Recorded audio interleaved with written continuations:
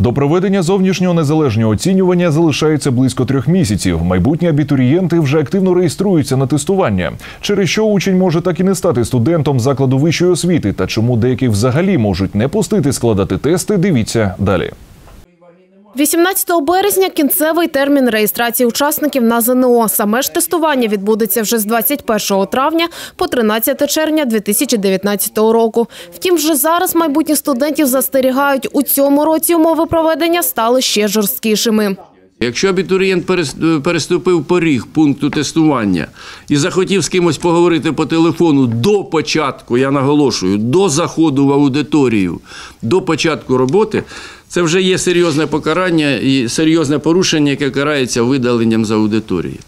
А вже у березні відбудеться пробне ЗНО. Втім, як учнів, так і батьків застерігають, пробне тестування, що проводять місцеві університети і Харківський регіональний центр оцінювання якості освіти можуть відрізнятися. Адже у закладах вищої освіти пробне ЗНО зазвичай неформальне та без чіткого дотримання умов проведення.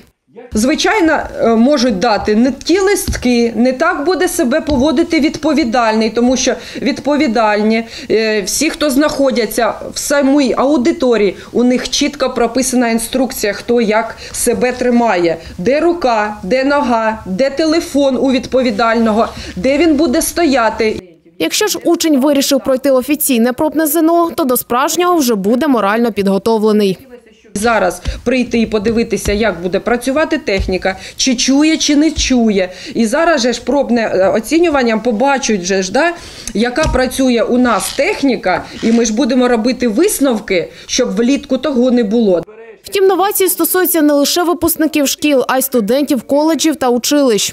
У цьому році всі ті, хто навчається в професійно-технічних училищах і коледжах, складатимуть уже два предмети у якості державної підсумкової атестації. Це українська мова і література, перший, другий за вибором математика або історія. Також ті, хто у минулому році не склав ДПА, отримавши оцінку 1, 2, 3 і підлягав відрахуванню з училища, у цьому році можуть спробувати свої сили повторно. Для майбутніх магістрів закладів вищої освіти кількість випробувань збільшується. Для 11 спеціальностей е, по магістерських програмах вводиться єдиний вступний іспит з англійської мови. По- Минулого року е, ця була програма втричі майже коротшою. Від учнів чекають вже дорослих та виважених рішень. Прохають виконати всі умови без порушень та не втрачати шансу стати студентом. Анастасія Острокова, Юрій Іщенко. Новини СТС.